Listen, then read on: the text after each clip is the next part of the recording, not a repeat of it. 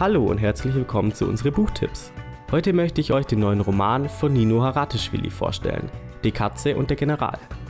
Der russische Oligarch Alexander Orlov, auch der General genannt, versucht sich in Berlin ein neues Leben aufzubauen. Doch die Erinnerungen an die Grauen des ersten Tschetschenienkrieges lassen ihn nicht los. Vor allem die furchtbare Nacht, die der jungen Nura zum Verhängnis wurde, quält ihn.